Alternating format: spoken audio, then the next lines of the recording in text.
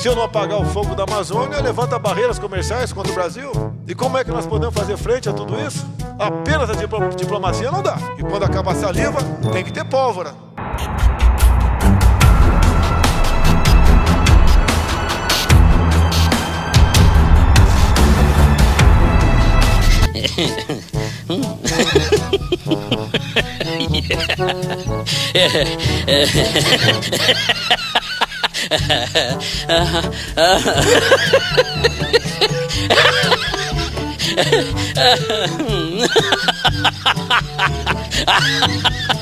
o pessoal da mídia, a grande mídia, falando que eu chamei de gripezinha a questão do Covid.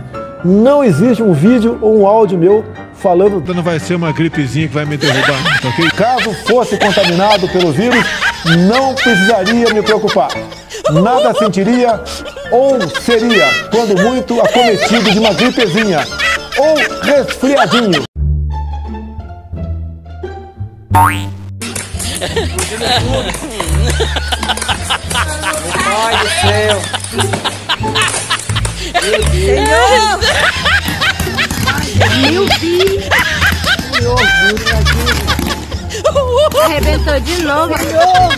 Quem vai falar aqui é o Celso Russomano, né? Deputado federal Celso Russomano largou na frente na disputa pela Prefeitura paulistana. Celso Russomano, republicanos, tem 24% das intenções de voto. O atual prefeito Bruno Covas, do PSDB, que busca a reeleição, aparece em seguida com 18%. Para o terceiro lugar, há um empate técnico. Eu não pretendia entrar nas decisões né, direções municipais, mas o Celso Russomano é um amigo de velha data e eu estou pronto para ajudar esse celular aí, não. De acordo com o levantamento, o tocano Bruno Covas tem 16% das intenções de voto no primeiro turno. Em segundo, aparece Guilherme Boulos, do PSOL, com 12,4%. Depois, Celso Russomano, do Republicanos, com 12,3%. Essa frente que eles estão criando aí para combater o presidente Bolsonaro vai dar em absolutamente nada. Você pode ter certeza absoluta. Essa nova queda do candidato Celso Russomano, 20% votariam em Bruno Covas, do PSDB.